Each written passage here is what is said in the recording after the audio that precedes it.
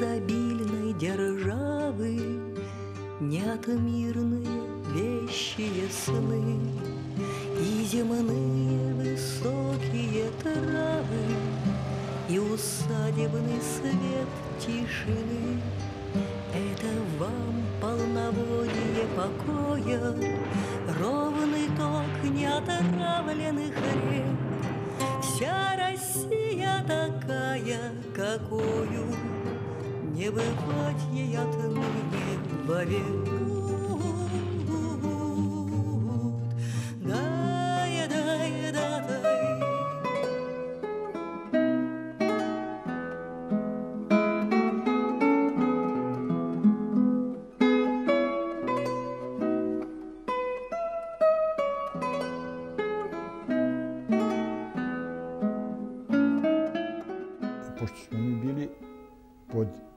bizantijskim uticajem, neposrednijim od Rusa.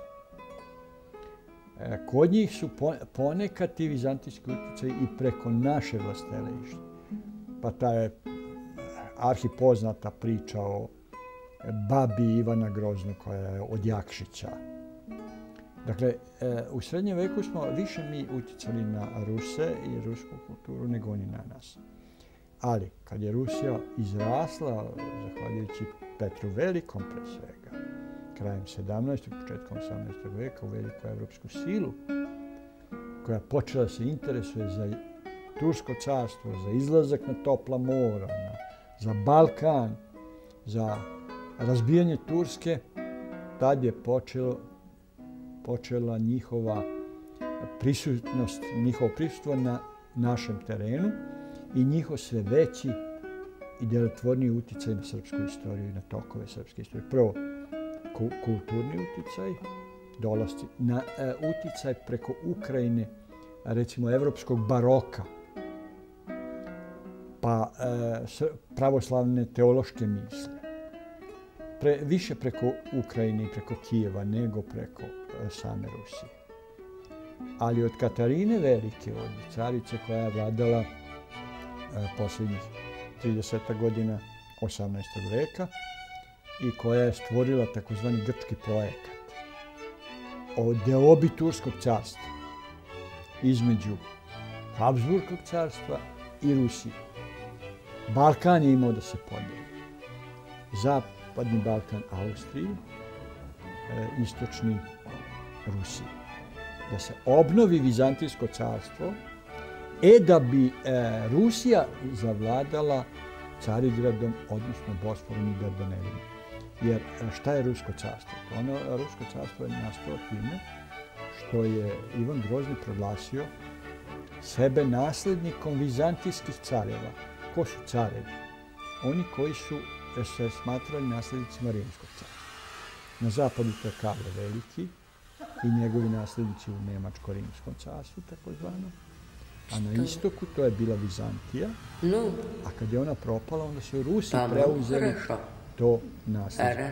I carevi nam ne može se za Carevi su samo oni koji se smatraju samo proglašeni u stvari nasljednicima rimskog, bilo istoč, zapadnog, bilo istočnog carstva. I car, Moskva se proglasila trećim Rimom. E, to carstvo je Katarina Velika htjela da obnovi u najširim ok mogućim okvirima. Da podeli Balkan, jer za Rusiju je Balkan uvijek bio vitalan problem.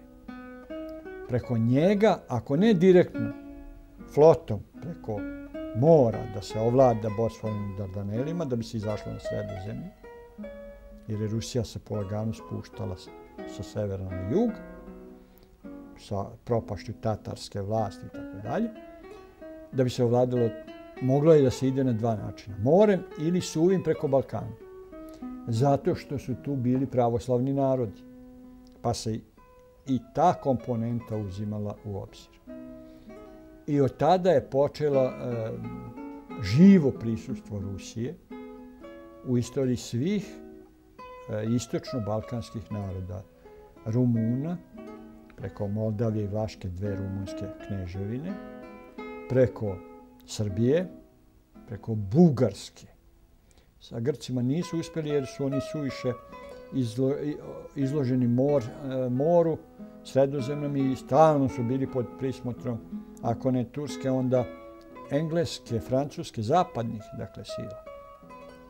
Ali Rusiju zato nisu puštale na Balkan ni ostale, da upravo ne bi stigla na topla mora. Pa su se Englezi borili za e, integritet Turskog carstva. Bolje slaba Turska nego jaka Rusija. Isto to Austrija, Habsburgska monarhija.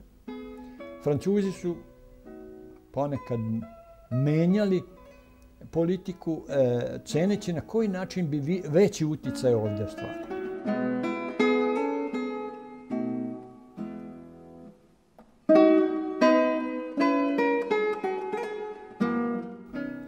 Sad šta je Rusija?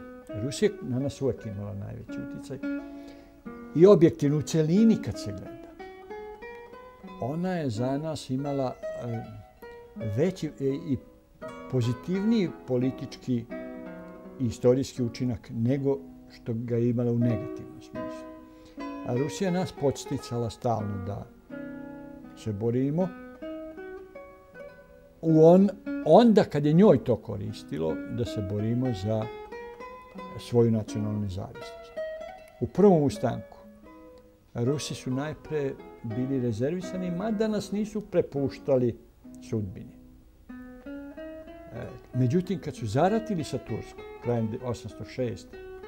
onda su nas nagovorili da ne primimo tursku ponudu autonomije, nego da nastavimo borbu za potpunu nezavisnost. Međutim, vraga, mi smo se borili do kraja, ali njih je upravo da bi im to sprečio, da zavladaju celom južnom Evropom, Napoleon između ostalog krenuo onaj veliki pohod najezdu na Rusiju 812. godine. I Rusi su morali da nas prepušte sudbinu. Ali, sad, pazite, to je najčešće se upotrebljava argument, kao argument, istorijski argument protiv Rusije. Ostavili su nas na cediju. Pa, s jedne strane, tako je. Trebalo je ipak braniti imperiju, nije moglo, e, mogla Srbija od 5-600 hiljada stanovnika da bude prepreka Rusiji da se brani od 5-600 hiljada francuskih vojnika koji su na nju išli.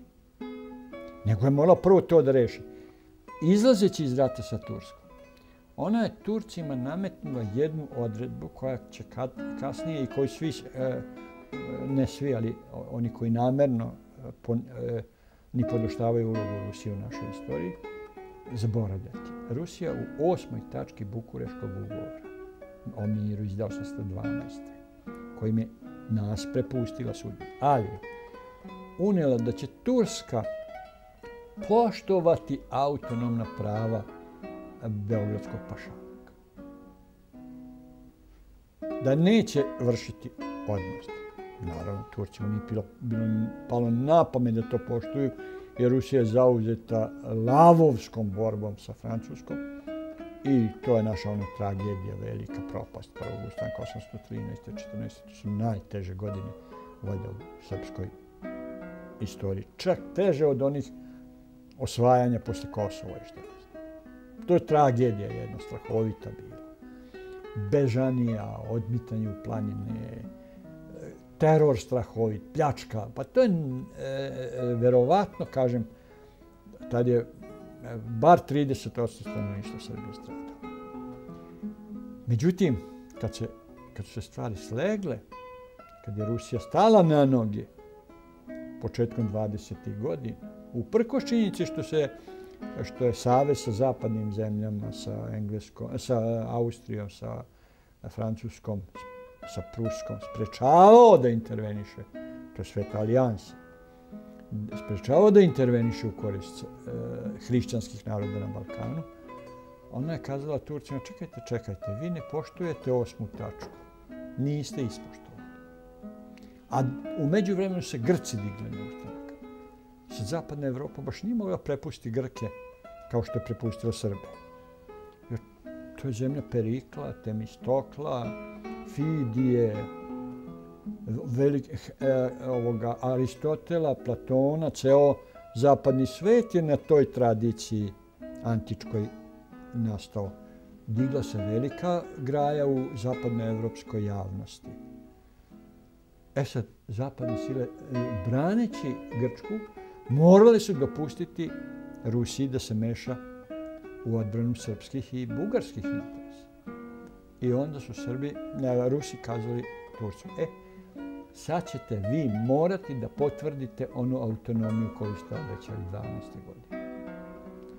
U ono vreme se državni ugo, međunarodni ugovori poštovali.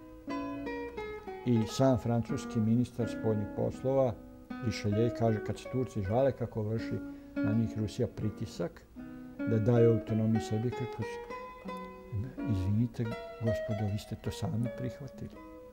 Izvolite izvršiti ugovor. To je takozvana Akermanska konvencija iz 1826. kojom Turci priznaju nam autonomiju, priznaju kneza Miloša na neki način prečutno, ali nemaju ozbiljnu nameru. Međutim, Rusiji ih tada dolazi do rata 28-29. godine između Rusije i Turske i Rusija njima nameće. Izvinite, morate sada pravnim aktima potvrditi tu autonomiju knjeza Miloša za, za vladara Srbije. I tako nastaje Srbija, u stvari zahvaljujući dobrim delom Rusije.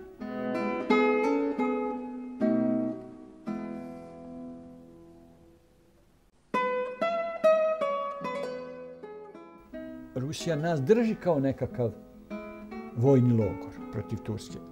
Koči nas da ulazimo prevremena u akcije, ali kad joj treba, 70. godina, kad je rešila da drugi put pokuša da Rus, ra, razara Tursko carstvo i da se dokopa Carigrada, ona nas gura u rat.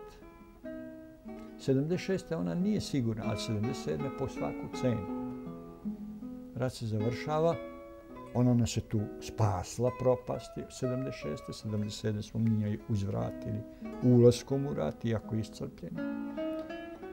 Sad ona nas gleda, Austrija je i sve snage, Nemačka, nova Nemačka imperija, obnovljena 1871.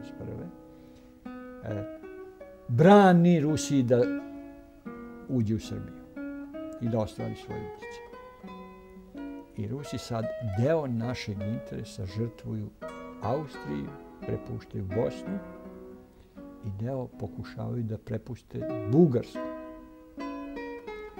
Čak i Južnu Srbiju, Niš, Vranje, Leskovac.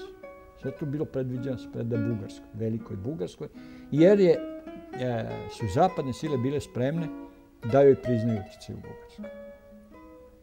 Međutim, pošto su, je Rusija preveliki apetit ispoljila, onda je taj, ta velika bugarska bila sažeta, skraćena, podeljena na dva dela i tako smo mi onda došli u posjed onih krajeva koja je srpska vojska osvojila 877.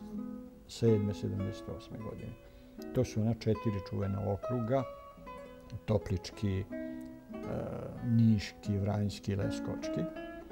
I tako je Srbija formirana, takozvana predkumanovska Srbija, koja je stekla tada prvi put državnu, potpunu državnu, suver, državni suverenitet i postala međunarodni subjekt, član onoga što se sad zove Evropska za, Evropske zajednice naroda.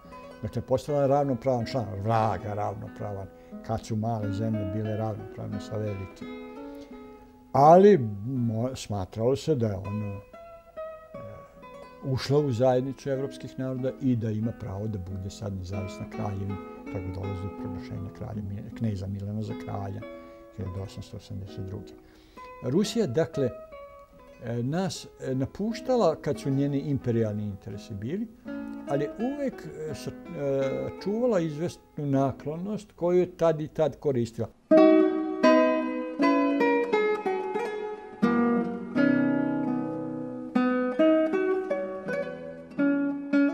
1914. je to najbolje pokazala kad je rekla mi Srbiju prepustiti sudbinu ne možemo. i kad su Austrijanci nas napali, posle Sarajevskog atentata, koji su iskoristili kao izgovor, jer je Srbiju trebalo uništiti kao nekakav centar jugoslovenskog okupljanja. Ne samo srpskog, nego južnoslovenskog. Vrlo jak južnoslovenski, anti-austrijski, anti-mađarski pokret je postojao u Hrvatskoj, u Sloveniji, u Bosni, u Dalmaciji, naročito u, ovdje u Vojvodini. I tu je Srbija igrala u neku ulogu Pijemonta. I Austrijanci su e, izgrađivali jedan koncept, to je Andrej Mitrović sjajno objasnio u knjizi e, Prodor na Balkan,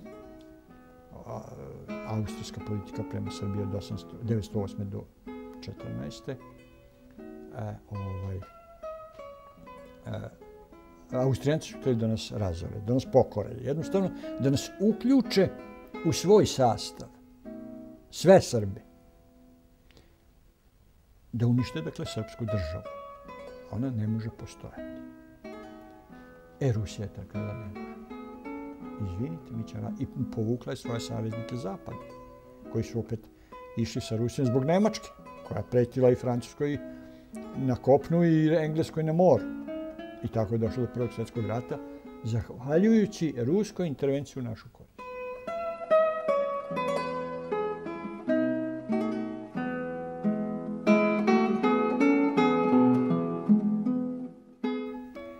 Pred drugi svjetski rat, odnosno drugi svjetski rat je već počeo, Stalin je sklopio ugovor sa Hitlerom, onaj sporazum Molotov-Ribbentrop 39. godine, da bi odložio nemački napad na Rusiju, pošto je bilo strašno oslobljeno zbog onih čistke, onog ubistva, ubijanja 12.000 oficira i generala, maršala. Da bi odložio, on ulazi u, u sporazum sa Hitlerom predajemo Poljsku, Finsku i tako dalje, a sebi zadržava Letoniju, Litvaniju, Estoniju i tako dalje. I sad, osjeća da se približava, pošto su Nemci izgubili vazdušni rad za Britaniju 40. godine. Nisu uspeli da slome Britaniju i da izvrše invaziju. Sad Stalin dobro procenjuje, predstoji na napad na Sovjetski savez. On nije verao da će to biti do 42. To je pogrešno procenio. Ali 30, 40. u novembru šalje Molotova u Berlin da pokuša da dobrovolji Nemce da odlože napad, ne da odlože, da kao ne bude napad, da se dogovori s njim. E, Ribbentrop njemu kaže, Molotov, u redu, ajde se sporazumemo da podelimo sve. Prepustite nam Balkan. Uzmite Persiju ka Englezima, celu, mi ćemo vam pomoći, jer će oni biti s nama zabavljeni. Uzmite što god hoćete u Aziji, ali samo nam prepustite Balkan. Rusi kažu, ne, ne. Onog momenta kad izgubimo Balkan, mi više nismo velika sila. Mi u Evropi onda ne značimo više ništa. Bez obzira što smo pomerili granice prema zapadu. Jer naš strateški cilj je, mi imamo dva strateška cilja, imperialne sile. Sovjetski savez nije imperija, ali je faktički jeste. E, u Evropi Balkan, e, u Aziji Bliski istok, odnosno južni, južni deo Azije. Ona, one današnje republike što su se odvojile. E, Kazahstan, Uzbekistan, Tadžikistan i šta znam koje sve teritorije danas, koje države tamo postoje. Dakle, Rusi nikad nisu nas baš do kraja ostavili. Ali su umeli da budu nepouzdan branilac. Jer nisu ni jedan svoj državni interes hteli da žrtvuju naš. I tu je e, velika mogućnost manipulacije istorijskim činjenicama. Zavisi koje koristiš. Kažeš, 812. izašli iz rata u koji su nas 807. uvukli. Da li su nam 826. izdejstvovali autonomiju? Pa 878. su nas pokušali da nam podmetnu veliku Bugarsku. Da, ali su nas zato 914. potpuno spasli. I tako da. Dakle, e, polivalentna je i ambivalentna je politika Rusije prema nama, ali objektivno gledajući, to je ipak naš najpouzdaniji oslonac e, u novijoj, bar u novijoj istoriji 19. i 20. Evo, kao zna kako će biti u 21. veku.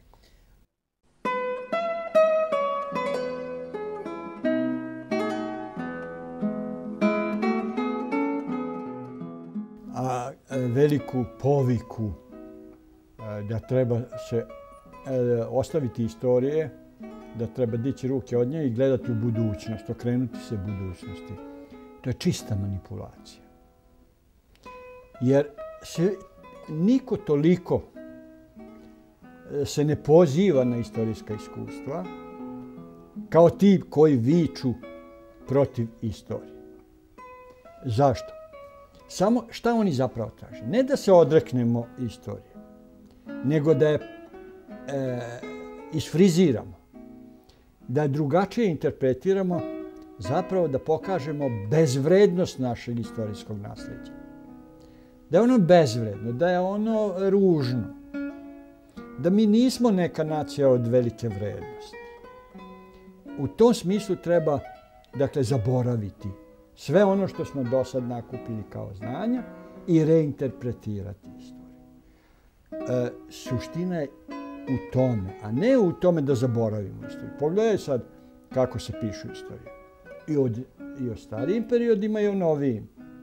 E, glavno je izvrgnuti ruglu svoju istoriju, a da bi smo postali manje čvrst branilac i e, zaštitnik svog nacionalnog identiteta. Jer bez istorije, a nacionalni identitet e, ima, fali mu četvrta noga, kao stolica na tri noge da se. Šta je nacionalni identitet? To je jezik, to je kultura, dakle duhovno stvaralaštvo, to je nacionalna svest, formirana na četvrtom načelu na zajedničkim istorijskim uspomenama. Te uspomene ne moraju biti uvek slavne, ali su naše i mi ih moramo štititi i interpretirati tako kako su one stvarno bile, a ne da ih ružimo Kod Srba to nije od juče pojava, da kad hoćeš da se prikažeš da si veliki kosmopolit, da si veliki evropejac, e, ti onda počneš da ružiš svoju istoriju i svoj narod. To i kod drugih ima, ali ne toliko. Pogledaj drugi narodi. I te kako proučavaju svoju istoriju. I te kako neguju. I te kako e, e, ponovo izdaju, publikuju stare E, starija izdanja u kojima su utvrđene neke istine, da ih nove interpretacije ne bi falsifikovali. Prema tome, kraja istorije nema i e, ne postoji, ne, nije moguć ljudski identitet, a ne samo nacionalni, bez znanja prošlosti.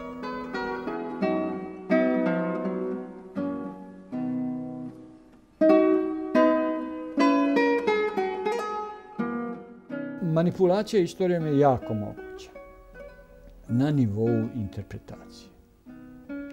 Jer činjenice ne može, ne može da... Možda ih prećutiš, ali ne možeš da ih falsifikoš, onda nisi ni naučnik, ni ozbiljan čovek. Ali možeš da ih reinterpretiraš i da biraš one činjenice koje... To je friziranje istorije.